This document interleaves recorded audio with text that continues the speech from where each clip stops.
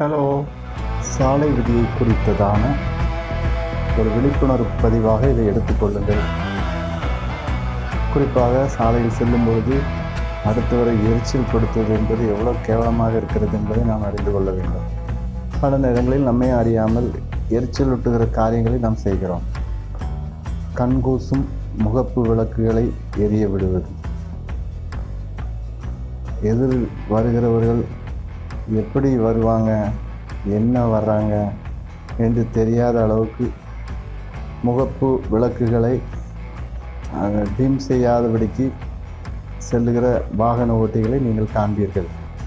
இது மிகவும் எரிச்சல் உருட்டுகிற ஒரு காரியம் என்பதை அவர்கள் அறிந்து கொள்வதில்லை. முறையாக எதிரில் வருபவர்கள் டிம் ரைட் செய்தாலும் கூட அதை செய்யாதபடிக்கு அலட்சியப்படுத்துகிற வாகன ஓட்டிகளை நீங்கள் காண்பீர்கள். உங்கள் உள்ளத்தில் இதை குறித்து என்ன தோன்றுகிறது என்பதை நீங்கள் கட்டாயம் கீழே பதிவிடும்படி உங்களை அன்போடு கேட்டுக்கொள்கிறேன். நன்றி.